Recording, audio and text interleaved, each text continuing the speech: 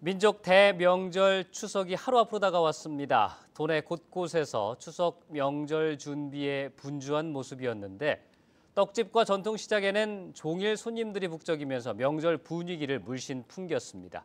김수현 기자입니다. 하루 앞으로 다가온 추석. 떡집 앞은 손님들로 발디딜 틈이 없습니다. 떡을 찌는 김이 모락모락 나고 먹음직스럽게 완성된 제품들이 가게 앞에 가득 채워집니다. 쉴 새 없이 밀려드는 주문에 만들어둔 떡이 금방 동이 납니다. 어, 지금 이제 떡이 늦게 오면은 다 나가가지고 사기가 힘들더라고요. 그래서 떡 사고 지금 들어가서 바로 이제 전부터 시작하려고요. 매년 커지는 물가 부담에 준비는 간단하게 하기로 했지만 정성스런 마음은 가득 담아봅니다. 올해는 과도한 차례상 준비 대신 가족들과 함께할 시간에 더욱 집중할 계획입니다. 이번에 물가가 많이 올랐잖아. 그래서 아주 간단히, 아주 기본적인만 하려고 지금 생각 중에 있어요.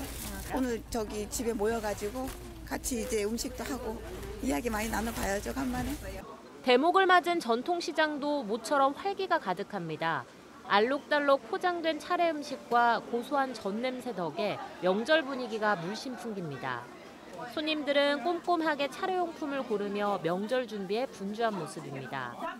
얼어붙은 경제에 상인도 손님도 부담인 추석이지만 따뜻하고 넉넉한 명절이 되길 기대해 봅니다.